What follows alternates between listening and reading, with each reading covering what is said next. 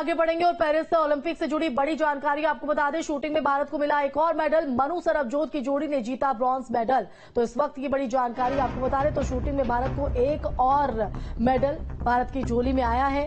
तो भारतीय खिलाड़ी लगातार बेहतर प्रदर्शन करते हुए नज़र आ रहे हैं। तो जानकारी सामने आ रही है कि मनु भाकर और सरबजोत की जोड़ी ने ये मेडल जीता है। इसी के साथ दूसरा पदक भी भारत की झोली में तो मनु भाकर ने रच दिया इतिहास, एक ही ओलंपिक में दो मेडल जीतने वाली पहली भारतीय बनी। तो सरबजोत बता दें कि सरबजोत सिंह संग धमाका किया है।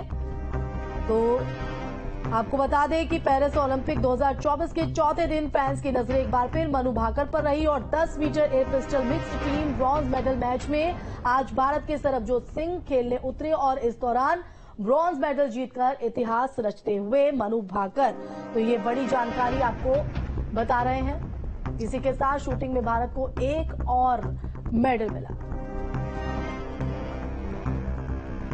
जितेंद्र जी क्या कहना चाहेंगे? बड़े गुरुद्वारे बाजी सारे गुरुद्वारों पर जाई जाएगा जी दिन गाँव में जी।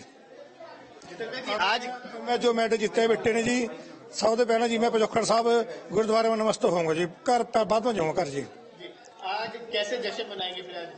जशन जी पहले तो गुरुद्वारे में जाऊँगा उसके बाद घर पे जाकर जश्न होगा जो भी होगा जी। देखा कि मैच नहीं देखा आपने? नहीं सर मैं मैं मैं मैच आज नहीं कभी नहीं देखा पहले अभी कभी नहीं देखा पहले भी देखा कभी भी जी। हाँ। जी हाँ जी। तो कितनी खुशी है खुशी तो जी सर बहुत खुशी है जी। कुछ कह नहीं सकता कितनी खुशी है जी बहुत ज़्यादा खुशी है जी। हाँ। जी हाँ जी। तो जश्न मनाएँगे? जैसा मनाएँगे जी पक्का मनाएँगे जी। और बहुत बड़ा एक कीर्तिमान हासिल किया है भारत ने। हाँ जी हाँ जी हाँ जी हाँ जी। हाँ हाँ जी हाँ जी हाँ जी। मनु बाकर ने भी अच्छी अच्छी जोड़ी अच्छा मैच खेले जी। बाकी मैं तो लाइव देखा ही लाइव तो आप लोगों ने देखा जाता जी।